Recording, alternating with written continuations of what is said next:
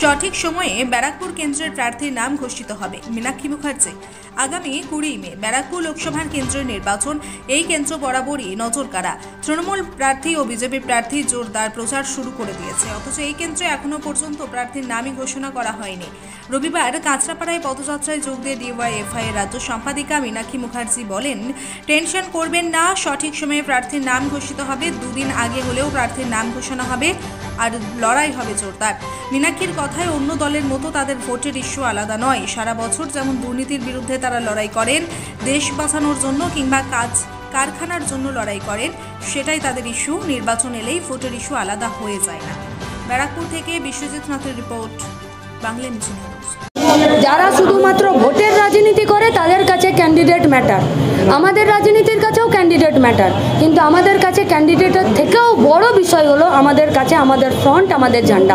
ফলে আমাদের ঝান্ডা সারা বছর আমাদের হাতে ছিল। টেনশন করবেন না সঠিক সময় ক্যান্ডিডেটও হবে। দুদিন আগে হলেও ক্যান্ডিডেট হবে। আর লড়াইটা ততটাই জোরালো হবে যতটা এখন চলছে।